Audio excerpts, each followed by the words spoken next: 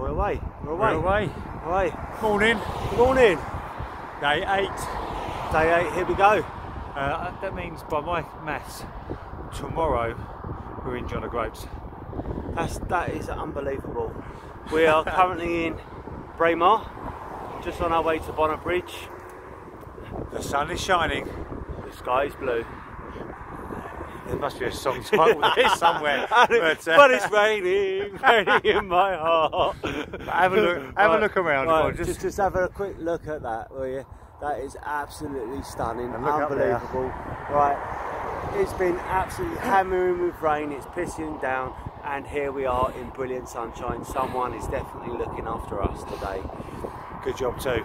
Yes. Because yesterday, first puncture in seven days. Who got the punch, Derek? oh, that'd be me. what a nightmare. But uh, we survived. So uh, here we go again. It's going good.